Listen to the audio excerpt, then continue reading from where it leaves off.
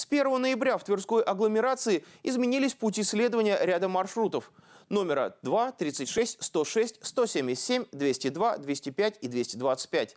Также с этого дня на зимнее расписание перешли пригородные маршруты номер 101, 102, 121, 138 и сократилось количество рейсов. Измененный маршрут номер 2 Южный Мигалова позволит улучшить обслуживание поселка имени Крупской. Для жителей Мамулина, Брусилова, ЖК Мичуринский, которые пользуются номером 36, время в пути уменьшится не менее чем на 10 минут.